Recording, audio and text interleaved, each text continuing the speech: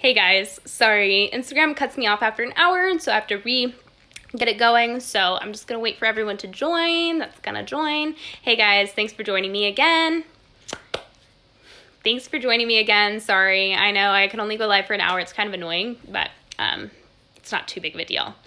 Thoughts on DIM as a source of cruciferous vegetables? DIM is not a cruciferous vegetable. DIM is found in cruciferous vegetables, and I am not a huge fan of DIM. I've seen it be more damaging to women than actually helpful. There's so many women that have gotten so many problems from DIM, um, and it's because DIM is like you're you know, when we start to really pull different compounds from specific foods and we start to take them in high amounts, we, we run the risk of not understanding if the body was ever meant to get that compound in that high amount. And of course, it can be therapeutic and of course, it can be um, beneficial, but a lot of times people just think like direct benefit is like, oh, it's just benefiting me. Yet their hair is like falling out in clumps and they're like, they have a rash on their back and they're like, but I, I feel fine. Like, I feel good. And I'm like, mm, probably not a good idea. So I would rather you get your DIM from um, other things like actual broccoli or actual cauliflower. Um, but the overemphasis on DIM or like the act, like people act like DIM is like this holy grail of liver detox. And I'm like, it doesn't work like that. DIM is just one substance needed in a list this long of substances needed for liver detoxification. And what's the odds that it's going to be DIM that's the problem with your estrogen detoxification? What about endotoxins in the gut? What about protein?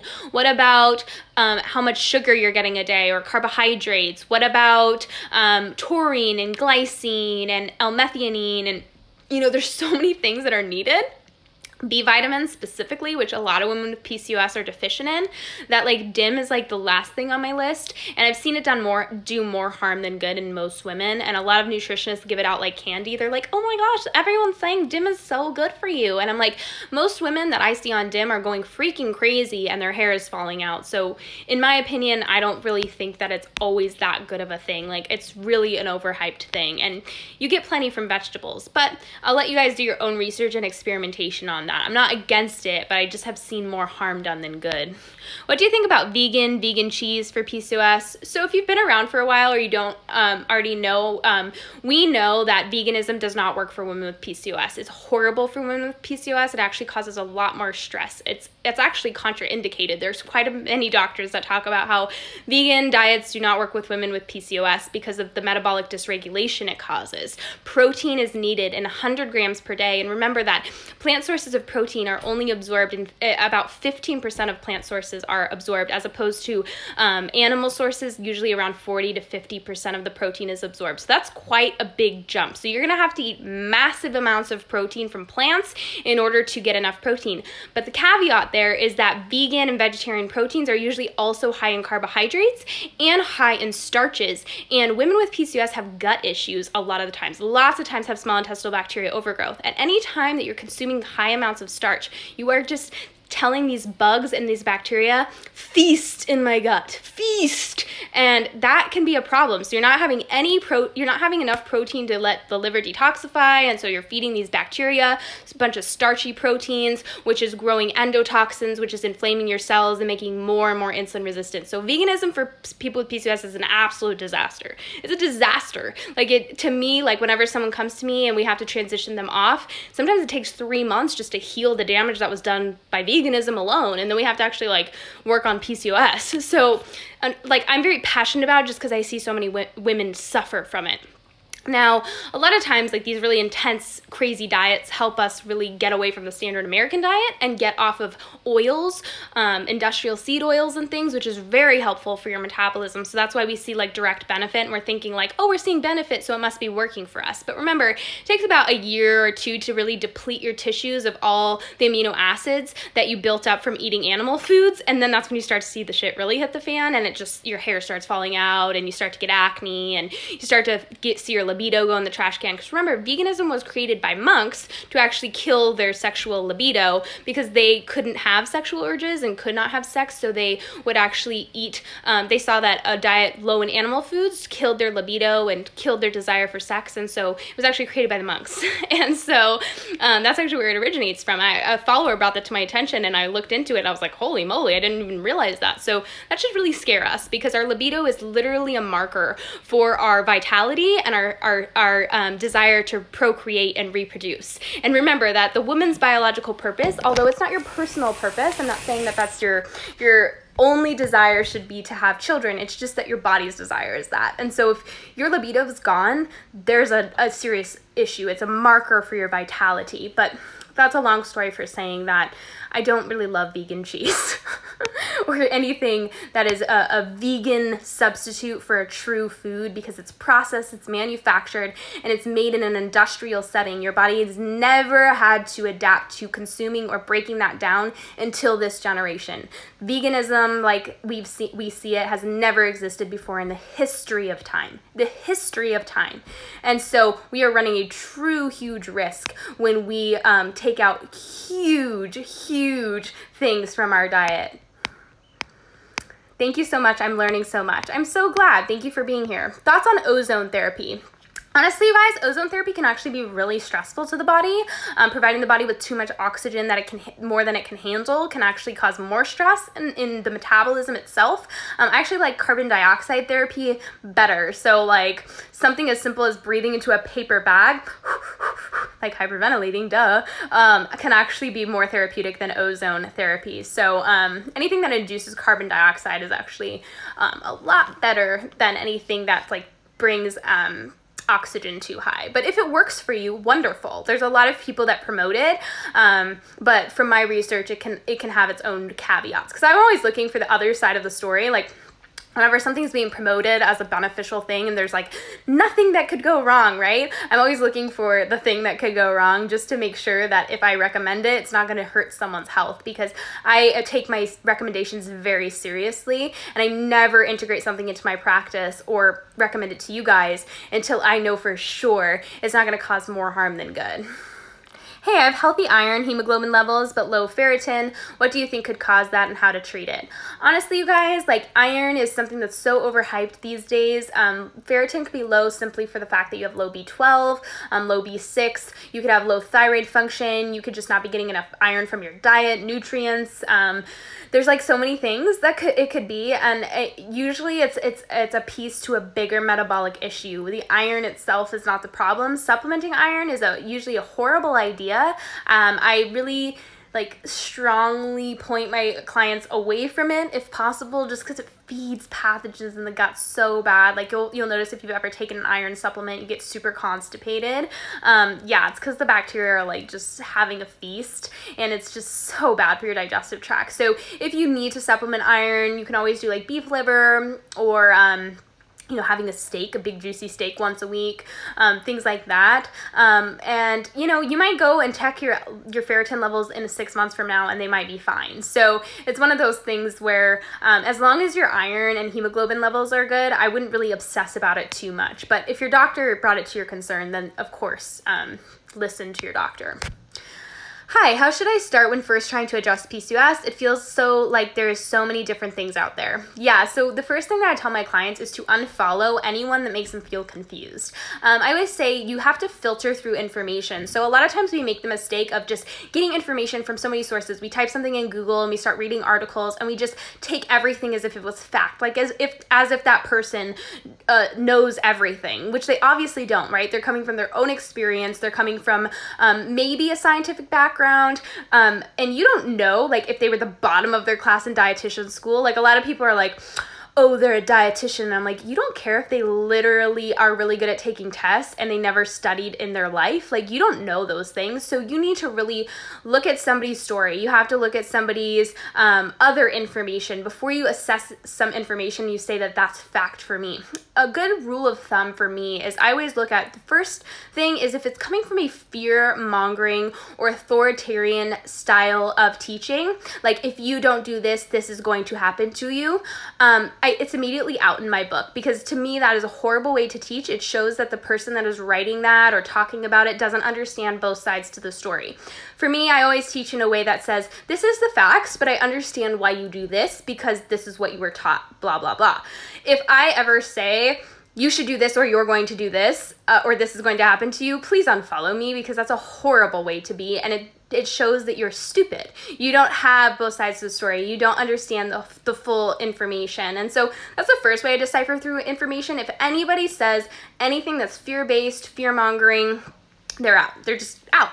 The second thing I always say is if they're cutting a huge food group out, like dairy, like meat, like something that you might commonsensically get a check in your consciousness like, hmm, I wonder if that might cause some severe damage to my health. I hope you would you would think about it before you just cut something out like that um, you should really question it. If anyone just says that the answer is cutting a food group out, they clearly don't understand biochemistry, they don't understand cellular health, they don't understand nutrition at all. They might like have heard something through the grapevine, like telephone, and they're just like regurgitating information.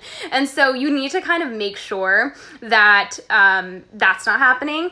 And then you also need to understand, you guys, like you always need to be able to take a step back and ask yourself, is all the information, is everyone talking about the same thing? Because nothing is ever as it seems.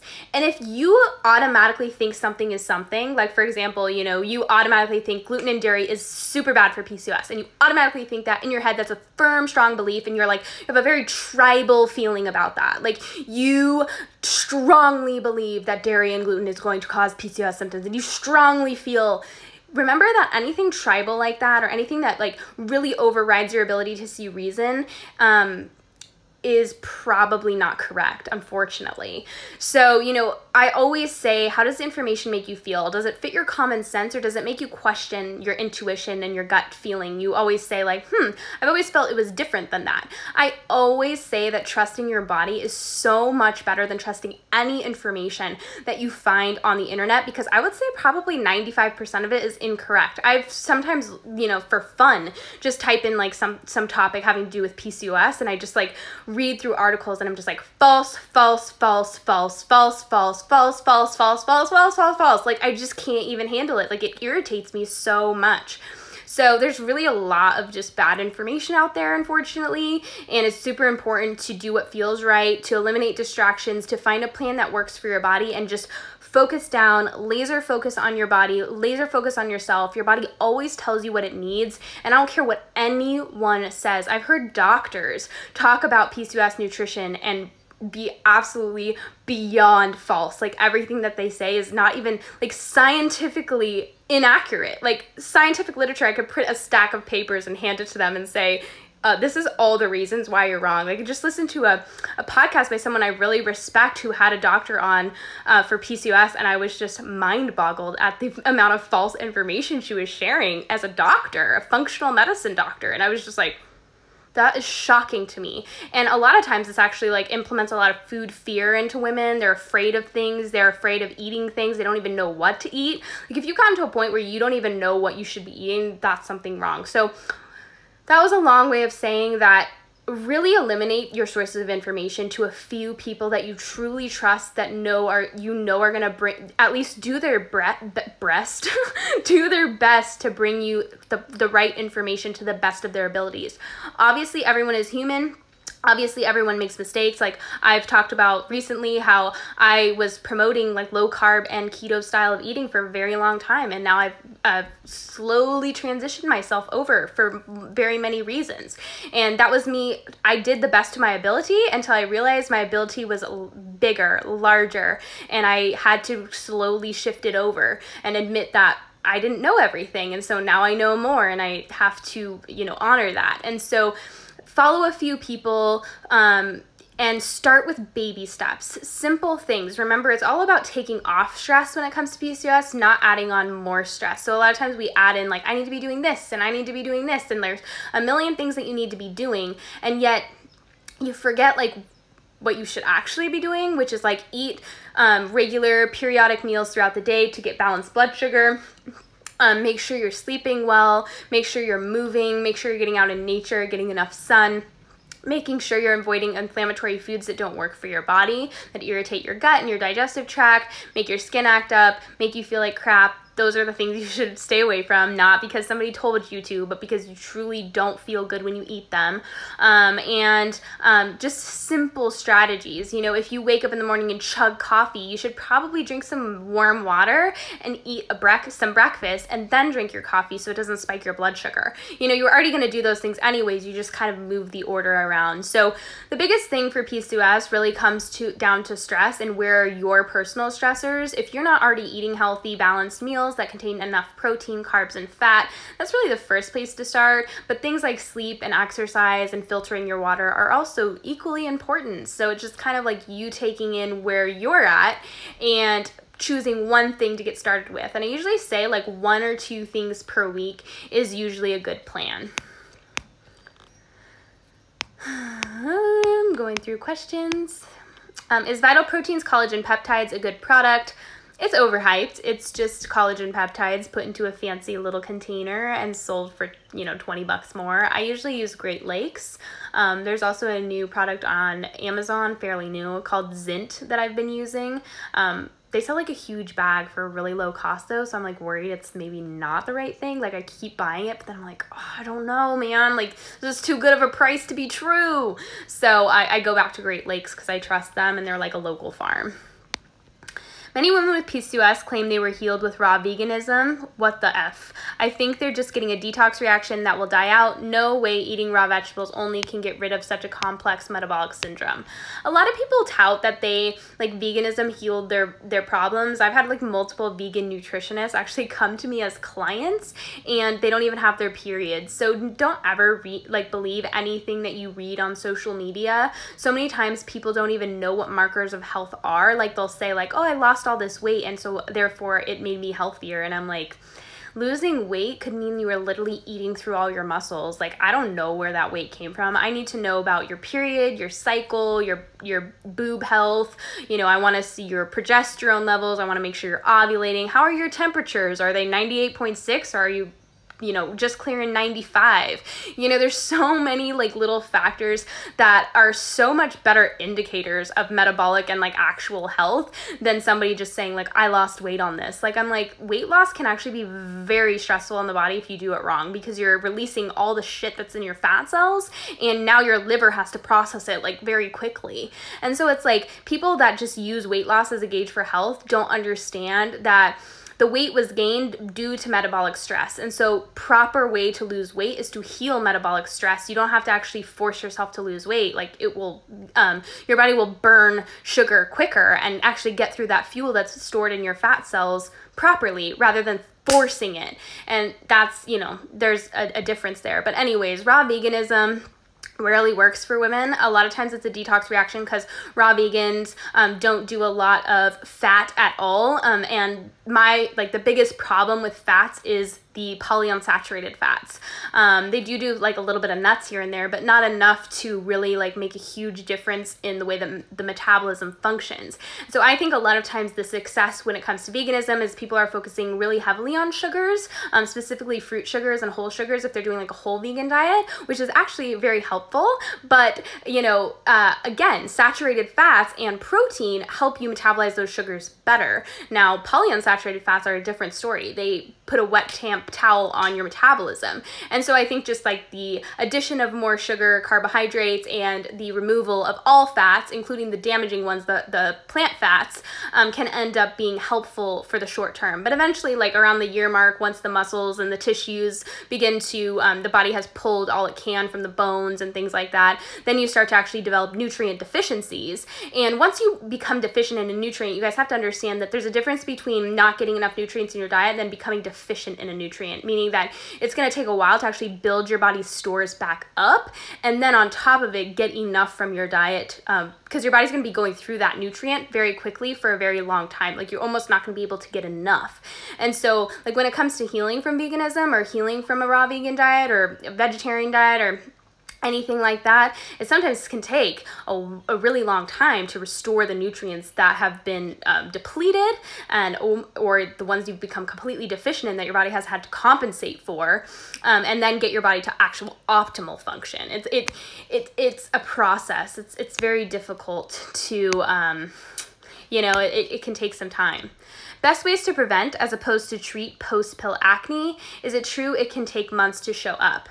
You know, it's true, but usually, like in people that are susceptible, like I've seen, at least in clients that go off the pill, um, a lot of times clients go off the pill before they talk to me. They don't actually talk to me before they quit the pill, which I understand. They just want to get off of it for whatever reason. Um, but I can help them sometimes, like support their bodies just nutrient wise before they get off um, to kind of mitigate the effects. So, usually shows up around that two month or three month mark. So, that's like usually when I see it. Um, anytime if it's like after that mark, um, it might never show up. So it's really hard to know. Um, I just recommend making sure your liver is detoxifying really well. You're getting plenty of nutrient dense foods. You're not in a super stressful time of your life. Like it's not a great time to quit the pill when you're like you know, studying for finals and your boyfriend just broke up with you and you're moving, you know, like really like kind of maybe choose a time on your schedule where you can set aside some time to take care of yourself, set aside some time to sleep, you know, just like things like that. Like you want to be conscious of how much stress you're going to be under, if you're going to be able to, you know, provide yourself with nutrient dense foods or if you're going to kind of be on the go all the time. So I would really recommend just encouraging liver support, encouraging the thyroid, metabolic foods that are easy to digest and absorb, and um, just taking it one day at a time. Sometimes it's enough. Um, Preventing post pill acne is as much as making sure that estrogen is detoxifying as quickly as possible and you go back to ovulating normally so that you can make progesterone to cancel all that estrogen out. Yesterday, I saw a post about veganism making libido better. I was laughing and thought about what you taught us. Yeah, I know, it's sad, guys. I follow a girl that made her toddler vegan, which I personally think should be illegal. I, I, I think that a lot of people should be able to choose a lot of things about their children, but if you're going to restrict something that's going to actually affect their, their, the, um, their, your child's ability to develop a, a proper sized brain, um, I think that that should not be allowed. because sometimes like people say well my my child is super healthy. And remember we know that health does not always look um, like health on the inside does not always reflect on the outside. It can sometimes take years. And development of a child um, you know when you're feeding your your, your baby in utero meaning that what you eat while you're pregnant will affect your child and then um, that sets them up for development throughout their whole life like 10 15 20 years. And so like for the people that say like my baby's happy and healthy i'm like well why don't you check back with me in 15 to 20 years to make sure that they developed testicles? You know like let's just be scientific and honest here I have six cysts on each ovary. Is that normal? My hormone test came back normal. Um, it just depends. Like, uh, what you guys have to understand is remember that polycystic ovarian syndrome and ovarian cyst are very different things. Polycystic ovaries just means many follicles showing up on an ultrasound. It means that you are not ovulating. Polycystic ovarian syndrome is simply a non-ovulation problem. You have so many metabolic stressors in your life that your body literally does not want to reproduce. So it's about eliminating those metabolic stressors. When it comes to actually developing ovarian which are inflamed and large cysts on the ovaries that can burst at any time. Those are two completely separate um, problems. An inflamed and large cyst is not a polycystic ovary. And I know it's confusing, you guys. The name is super confusing, but they are two completely separate uh, situations. And so I don't know what you're talking about when you come to cyst. Having six large inflamed cysts on each ovary would be problematic and not normal. But if you're just having six polycystic ovaries or many of your follicles are showing up, that would make sense if you hadn't ovulated recently. Should I stop cutting gluten and dairy in my PCOS diet? Um, I do recommend cutting gluten, and if you react to dairy, then it's probably a good idea to keep it out for a while. But gluten is usually a, a, a strong, I'm, I'm seriously not a fan of gluten. It just again damp cloth on your metabolism. If you want your your um your metabolism really functioning at a high metabolic rate then uh, you want to avoid inflammatory foods. And unfortunately a lot of people's digestive systems systems systems are super messed up right now and they just can't handle the stress that is gluten. In a normal optimally functioning digestive tract go for it. But um, unfortunately a lot of women with women with pcos already have damaged um, intestines. They're not really absorbing nutrients properly. And so um, it's best to just kind of um, keep gluten out of the diet for a while. What are the good sources of sugar and carbs? Um, it just depends on what works for your body. Obviously, it's best to get them from whole sources. I really love fruits and roots. I always say that's a great rule is roots and fruits. Um, then, you know, I talk about in Fully Nourished, I, I dive into this, is grains are not always bad, but it's really where your body is at that is what determines if grains are bad or not. Some women do really well on gluten, some gluten-free grains in their diet, like sprouted oatmeal, um, gluten-free, like really processed gluten-free bread just because it's like they, their body doesn't have to digest it and break it down. It's already been processed, like made out of white rice flour or whatever. And then some women really see that they just gain a lot of weight with grains. And that's not because the grains themselves are causing the problem. It's because it's feeding bacteria that is making you more insulin resistant. Because remember, bacteria in the gut creates LPS, lipopolysaccharides, or endotoxins, which get into the bloodstream, which inflames your cell, which makes them more resistant to insulin. So it's that vicious cycle. And so really like optimizing um, or finding the right carbohydrates that work for you is really comes down to experimentation. I recommend gluten-free grains grains that are already kind of processed, so broken down. Quick oats, um, gluten-free breads, things like that if you're gonna do grains. I wouldn't do like a harsh, like I'm gonna make some buckwheat or quinoa and like try to get my body to digest that straight seed. Like probably going to cause some irritation there. Um, but roots and fruits tend to be easier to digest. So in-season fruits, wonderful. Um, in-season fruit juices, if you can handle them. Some people that are insulin resistant can't handle juices at first. And remember, it always has to be in context. It always has to be combined with a protein and a fat to slow absorption and make sure your cell's metabolizing it properly. And so just kind of depends, but in season ripe fruits are wonderful. Roots like carrots, sweet potatoes, potatoes, um, parsnips, beets, anything that a squash, you know, anything that is a fruit root vegetable, um, like a squash. Anything that has seeds, like zucchini, is a fruit. Um, and what else? Um, and some natural sugars, if you can tolerate them well. You know, remember that carbs and sugar are quick energy for the body, and so you have to think about what's going to sustain me long term. Um, raw honey and coconut sugar and date syrup and all of those natural sources of sweeteners like maple syrup and even organic cane sugar is very quick fuel for the body. Your body can, it actually gets digested through the stomach and so by the time that your food gets into your intestine, that has already been absorbed as energy, like boom, boom, boom. Yet, remember that when sugar speeds up the metabolism, your body has to be equipped to handle the sugar. It has to have the right nutrients. It has to be able to burn sugar. Remember, enough T3 or thyroid hormone is needed to burn sugar. And so sometimes when our metabolisms are suboptimally functioning, a quick digesting form of sugar doesn't get burned in the cell. It gets stored as energy for later in the fat cell.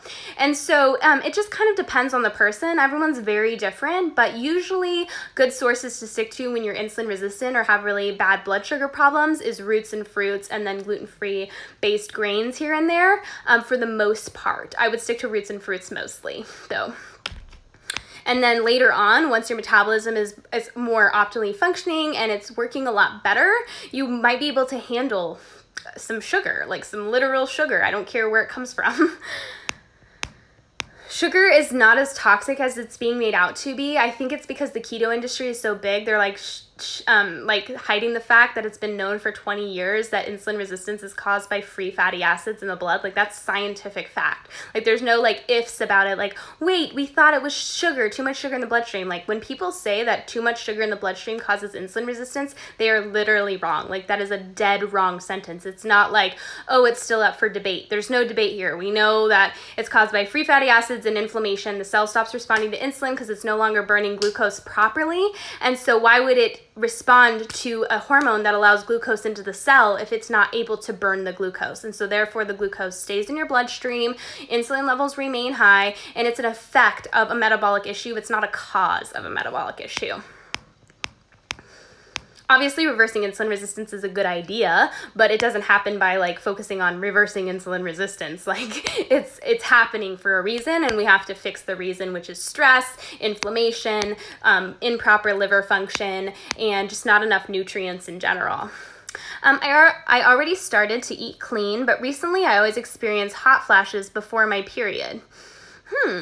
Yeah, you know, I uh, a lot of times hot flashes are caused by estrogen, and so maybe you're not detoxifying estrogen well. Um, a lot of times I implement with my clients just making sure they're eating a carrot every single day before they start their period. Sometimes they need to also eat mushrooms, which can bind to estrogens. Um, doing chlorophyll in your water can sometimes be helpful. Um, implementing milk thistle can be helpful. So there's a lot of different. Um, things that you can implement. The goal there is just to really support estrogen detoxification so that estrogen is actually getting out of the body and not being circulated but then reabsorbed by the body. How can one lower high testosterone levels naturally? I got an IUD and love it because of the of no estrogen hormones, but now I'm having trouble trying to balance out my high levels of testosterone. Yeah, so remember that hormonal IUDs have do not have progesterone in them. They have progestins, which act a lot like testosterone and act a lot like estrogen in the body. And so, um, unfortunately, a lot of women think that when they get hormonal IUDs that they're eliminating estrogens, but you have to understand that the synthetic progesterone in an IUD acts very much like estrogen and very much like testosterone in the body. And so a lot of times you see women with hormonal IUDs just have wrecked hormones because um, the body's response to these synthetic hormones is to raise testosterone in order to protect the reproductive organs from the damaging synthetic steroids. So, um, you know, honestly, I'm not sure if you have a lot of women, honestly, have high testosterone due to their Mirena IUD or hormonal IUD. Um, I'm assuming it's a hormonal IUD um, and not a copper IUD. Um, if it is um, high testosterone is usually due to inflammation. Remember how I always talk about how when your body's under metabolic stress, whether you have a low thyroid function or you're reacting to chemical stressors, your body has to raise stress hormone, right? Cortisol is usually the first one. You've probably heard of adrenal issues. Cortisol is the hormone that they secrete. They also secrete adrenaline. Um, these hormones, their main job is so, like, for example, if you are running from an angry bear, you would be very thankful that your body was secreting cortisol because it would break down your tissues. Your body knows you're not going to stop and eat a three course meal so that you can run a marathon away from an angry bear. And so, in a very acute situation of stress, your body knows it has to create its own fuel because your body's going to go through fuel very quickly when you're running or you're in a, a survival fight or flight mode. And so the function of stress hormones, specifically cortisol and adrenaline, is to break down your tissues in order to turn them into sugar to fuel your cells. And so, um, you know, in order to protect the tissues, right, we need to make sure that certain tissues are not going to be broken down in, in stress. Um, specifically, the brain, the heart, and the lungs, which are your vital organs, are very high in two hormones, two androgenic hormones, testosterone and DHEA, which actually protects them from being broken down when stress levels are high. And so I believe that in hormonal imbalances, when testosterone is high, it is a actual a your body's response to a stressor. It is the way that your body's actually protecting its tissues because the only thing more powerful than estrogen, and estrogen is very damaging to reproductive organs, damaging to the brain in, in high amounts. The only thing more powerful than estrogen or synthetic hormones is testosterone. And so you often see your body compensating with testosterone and DHEA in order to protect the tissues under stress. And so actually forcing testosterone down is a horrible idea for people that are under stress because it's the only way that your body's protecting you. And so the goal when it comes to testosterone is is not even to focus on the testosterone at all. It's actually to focus on what is causing stress in my life that could be raising testosterone. Is it inflammation? Do I have digestive issues?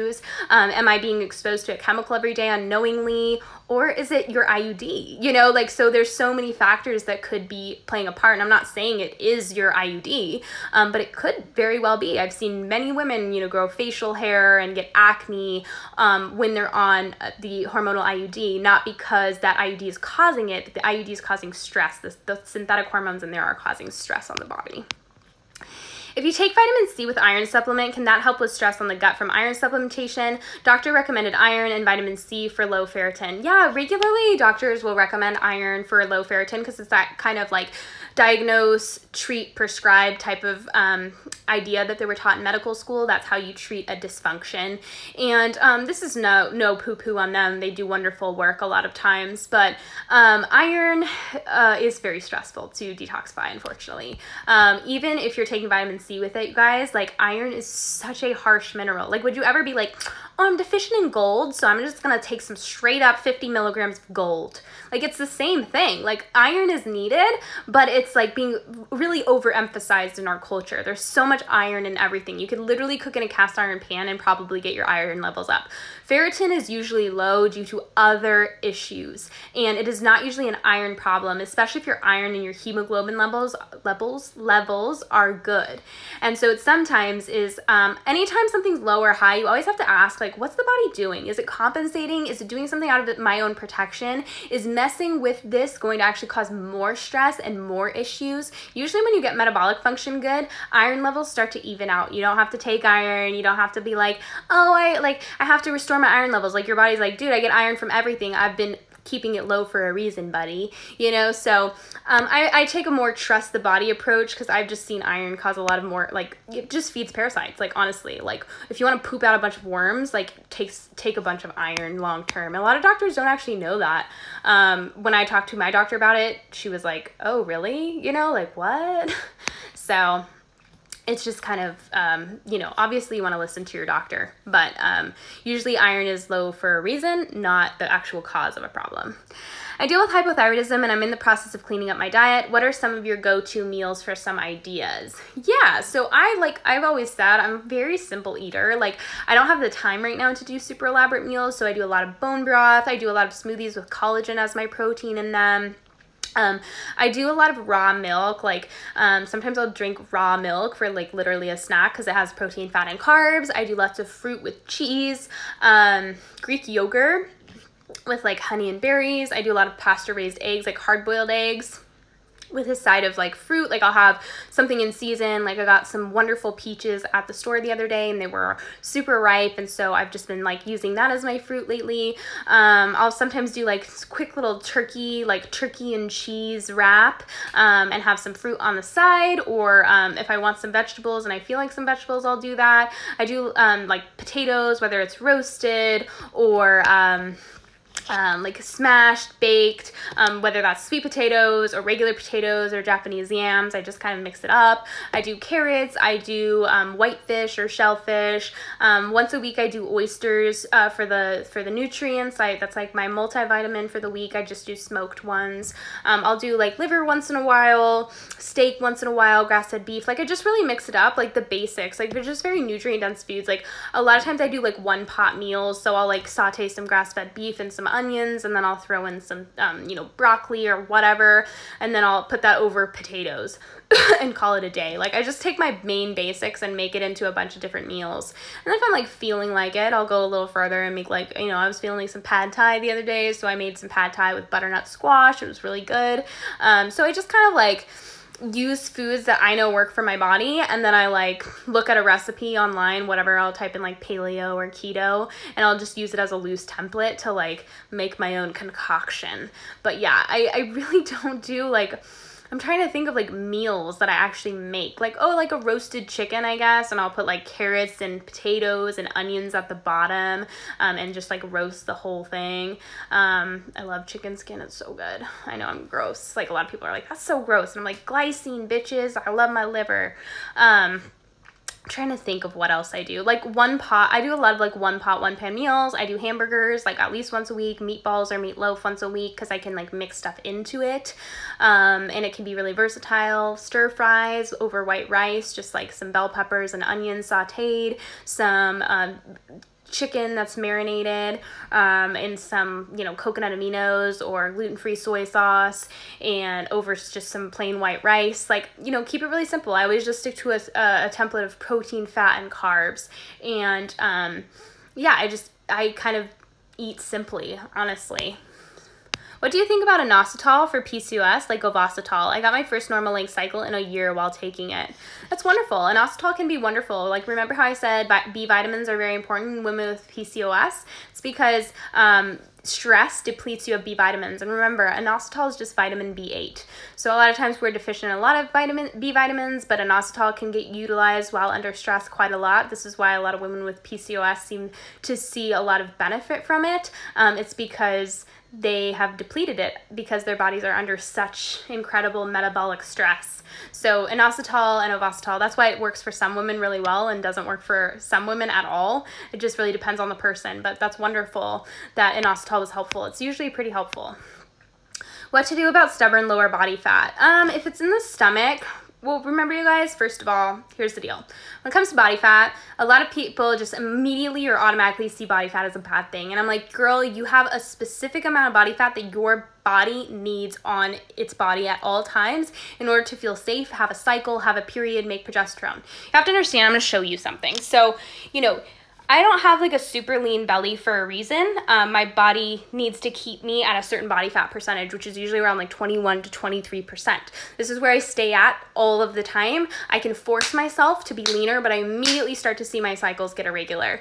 And that's my body's sign that, nope, it's too much. So weight loss is very relative to the person, and the amount of body fat that you need is important. That lower pooch right here is your um, vital organs. So remember, like having rolls like that is actually usually a good thing for a woman because your womb is right there, right? Your uterus, your ovaries. So, you know, this idea that we're comparing, I mean, I'm sure you probably follow a million girls that show you their flat stomachs and this and that because they're working their angles, right? You're comparing yourself to a magical unicorn that doesn't exist. And so here you think that your lower body fat is stubborn or bad, and your body's like, dude, I'm not gonna lose it. I'm going to fight you at every moment because I need it to survive. And so you need to get real with yourself if it's excess body body fat or if it's the body fat that your body needs. Fat is not bad, um, too much is bad, and um, is actually better to lose slowly. So get yourself metabolically healthy and your body will find its healthy weight, whatever that is. And if you find that you have to actually force yourself to lose lower body weight, that is probably weight that your body does not want to lose. And I don't care if it's societally acceptable or you need a certain lean body in order to um, like feel like you fit in with the what the world says you need to do that is not what your body thinks. Your body just doesn't understand this is not a famine. Like your body's like shit it's a famine. Like we gotta we gotta save everything. We gotta survive. And your body doesn't realize that you're like trying to restrict calories in order to lose a few pounds you know? Like that doesn't make sense to your body in a survival perspective so, you know, if you just have like a few pounds to lose or you have more curvy hips and thighs, that might just be your body and learn to embrace it and enjoy it. If it's very like, so if you're talking about like lower belly fat that's very concentrated in hips and thighs, very cellulite, very chunky, very cottage cheesy, that's a different story. That's an estrogen, that's estrogen fat. Remember that, you know, a certain amount of fat is necessary for a woman to breastfeed and reproduce and have healthy cycles and just for her body to feel not stressed out. But then there's like a too much fat where fat's just creating more estrogen and more inflammation and the body's just storing so much in these fat cells. And then fat itself creates more estrogen, which is a fat promoting hormone. So, you know, it's it's very important to see things for what they are. If it's just that you have a curvier body and you store more fat in your lower body, enjoy it, embrace it. Everyone loves it. Um, and if it is um, more like hormonal fat or really um, more fat than is necessary, then that might be something that is a sign that your metabolism is struggling and it's not that you need to focus on losing lower belly fat. You just need to focus on, you know, promoting a healthy metabolism and the fat usually takes care of itself. Your body, every woman's body has a certain set weight point and some women do better with more fat storage on their body, unfortunately. Um, I shouldn't say unfortunately, it's just a lot of women that want to be a certain body type will never be that way unless they really force and starve themselves. And um, it's not a good thing to do. Random question, but I found a lump under my armpit about a month ago and hasn't gone away. Have you had this or any patients that have had something similar? First of all, you guys, I'm not a doctor, and if you're worried about something like that, that is definitely something you want to get checked by your doctor. Um, I don't have patients, I have clients, and so I'm more of like a wellness consultant. I'm not like a doctor. I don't tell, like, if you have a lump in your armpit, I encourage you to go to your doctor. Um, if it's something that's not serious and they test it for like a cancerous thing, because that's something you definitely don't want to let just go long term. Like you must check and make sure that's nothing that is um, cancerous or um, anything that could be malignant. And then once that's passed, you can then go on to ask if there is things you can do about reducing a lump. But the first step is to make sure it's not something that is damaging. Um, and then if it isn't, then it could be lymph tissue, it could be your lymph system. You remember you have lymph nodes right there is, is messed up and you need to drain it. You can use castor oil packs. Um, body brush can be helpful detox baths, just like really hot Epsom salt baths. Um, but yeah, I would check that out first and foremost. My doctor said my ovaries don't show PCOS, but I have high male hormone. What does that mean? Please help. My ovaries don't have anything on them, but my male hormone is really high. Does male hormone ever lower itself? First of all, you guys, testosterone is not male hormone. Both females and males have male hormones or androgens. And testosterone and DHEA are protective in the tissues. Um, a lot of times women have high testosterone because they have high estrogen, they're not making enough progesterone, they're not ovulating.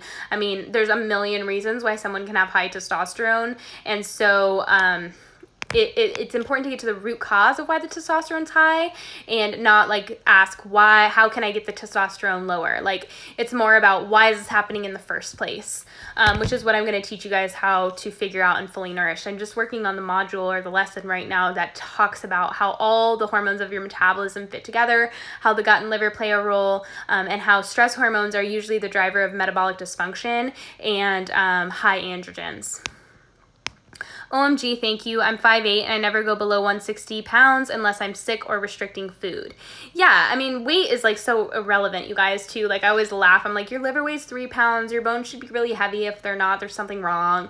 You know, like, eh, weight is so, like, it can fluctuate between 15 pounds on any given day, depending on, like, if you had carbs yesterday, if you had water in your muscles, like, if you took a dump, you know, like, there's just a million things that could, like, you can immediately make yourself four pounds lighter by just releasing everything out of your digestive system. So I just don't understand why weight is even a marker for us to determine our worth or our health. Like it's just such a useless marker. Like I don't care if I weigh 100 and you know 90 pounds or 120 pounds as long as i look and feel healthy. And um, we tend to focus on things that are just irrelevant and obsess over them. And weight is one of those things. It's literally irrelevant. It is based on so many factors. And i really recommend only weighing yourself you know if you're going to weigh yourself and you must weigh yourself once a month if that. Um, when is your guide coming out? I'm so excited for it. Yeah, so Fully Nourished is going to be an online course. It has modules and lessons, handouts. It's not just a printable guide. It's actually going to be me on videos and slides walking you through the blueprint of how to heal your metabolism. That's why it's been taking so long. It's not just going to be like a PDF guide. Um, so, um, you know, I, I want to make sure that you're equipped with everything that you need to truly start like healing and get what you where you need to go. And sometimes healing takes time, you guys like it's not going to be an easy transition especially if you've been following like all this like mainstream health and wellness advice of like eat a ton of salads and green smoothies and restrict all this food and you know do AIP and this and that. Like you're going to be really shocked as to what is healthy on a metabolic level and I'm just explaining the science to you. I'm going to educate you about food so that you understand how to find food that works for your body. Everyone is so different and I want you to be able to really see through the BS that is the dieting world because at the end of the day, diet culture makes people money.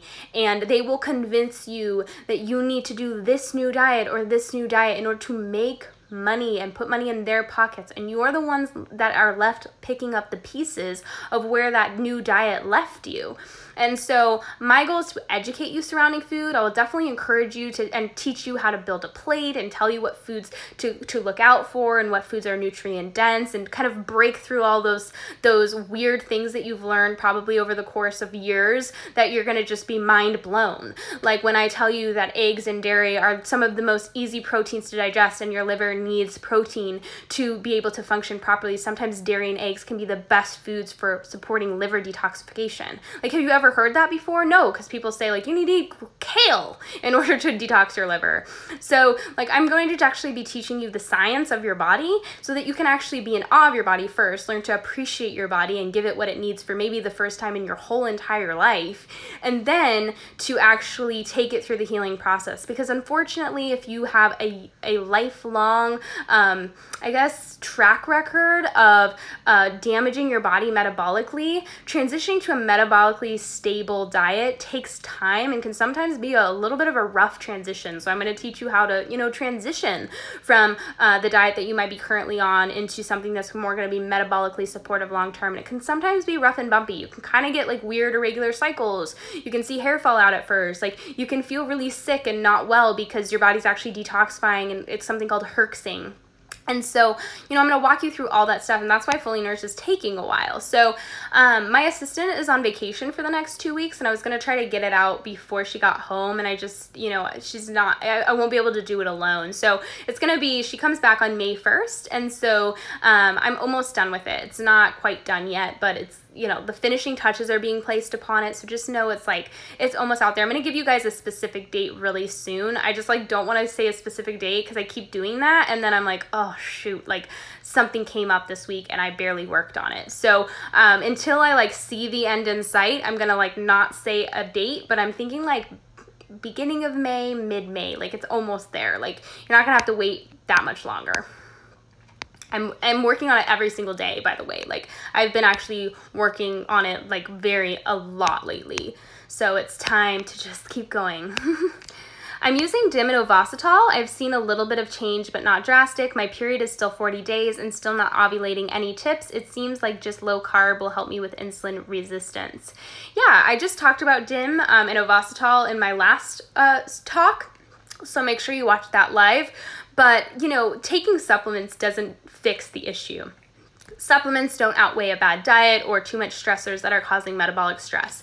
PCOS is a very complicated condition and it takes, it's just a metabolic syndrome, you guys, and it's a hypometabolic state. Your metabolism is just malfunctioning and it needs to be healed. It doesn't need to be catered to. So there's a difference. There's a lot of diets like low carb diets. This is the biggest thing amongst PCOS um, women right now is, is low carb and even keto diets are being promoted. And in the short term, it can cause symptom reduction but that is a different scenario than actual cellular healing. When you're actually catering to a damaged metabolism by restricting what it cannot burn because it's damaged, you're not fixing the issue, right? You're just removing something. It's like it's like saying that you know something is on fire and so instead of putting the fire out you just you just remove yourself from the whole situation. You're just like okay bye.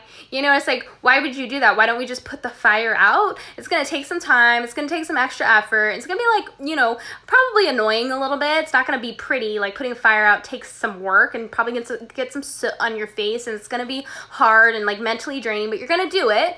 And then you don't ever have to worry about like you burning alive ever again. Whereas if you just let the fire keep burning and you fix the symptoms symptoms but don't actually start reversing the symptoms, it's just gonna pop up in different ways. And I find that with a lot of women with PCOS, they like go on this diet and they feel good for like a year and then they're like, I feel horrible again, and their symptoms start popping up, and then it's this new diet, and it just becomes this process. It's like this really never ending process. And so that's why I've really set out to he- help women heal their metabolisms and learn about their hormones and metabolisms so that they can actually like heal because I believe that you're the true healer. I'm not a healer.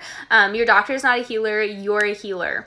And in order to heal your own body, you need to understand your own body. How do you expect to heal something that you do not understand? You can't, you won't, because you don't understand what's even happening in the first place. So how can you correct an issue that you don't even know is happening?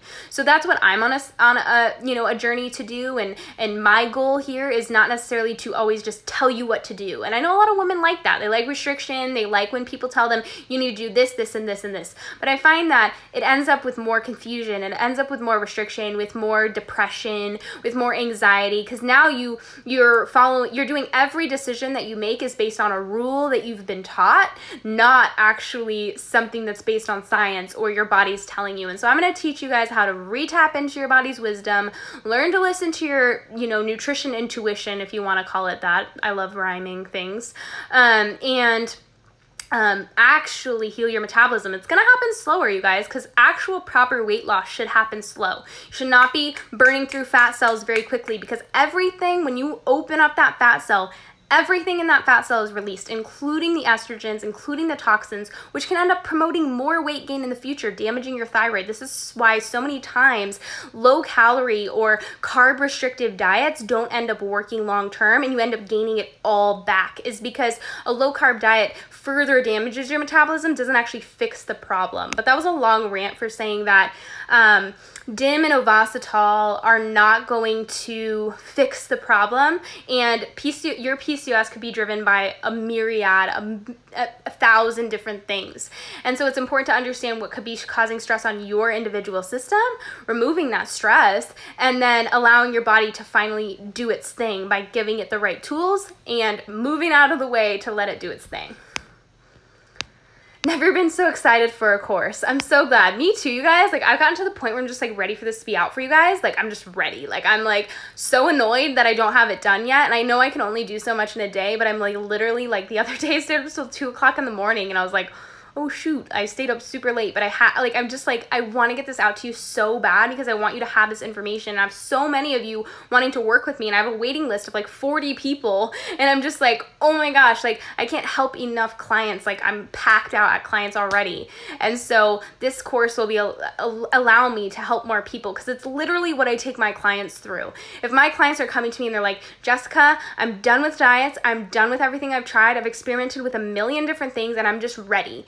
This is what I do with them. When they've hit the end of their rope and they're ready for metabolic healing and they're ready to ditch the dieting, because a lot of my clients are not. They're not ready to ditch. And I have to use my intuition and say they're not quite ready yet, unfortunately. Like I have to kind of work on them slowly because they're just not mentally ready but this is kind of what I teach somebody that has come to me and is like, I'm done. I'm ready. I want to finally heal. I want to stop doing all these freaking weird diets and restrictive diets and I want to actually get to the root cause of the problem and do the work. And that's what fully nourished is. It's it's for people that are done with all this mainstream health information that has really ruined them and made them so confused around trusting their own in intuition. Is it a limited spot that I can get the guide? Uh, no, so it's not gonna be limited. It's gonna be open. The only thing is I will be offering $100 off for the first two weeks just to thank you guys for waiting for so long and being so patient. Like, I just appreciate your guys' patience with me. Like, this is the first time I've ever, I've ever, I've ever launched something like this. And also, like, I know there's probably gonna be a few bumps in the road. Like, I understand that I'm, I'm probably not gonna get perfect first shot, even though I want to.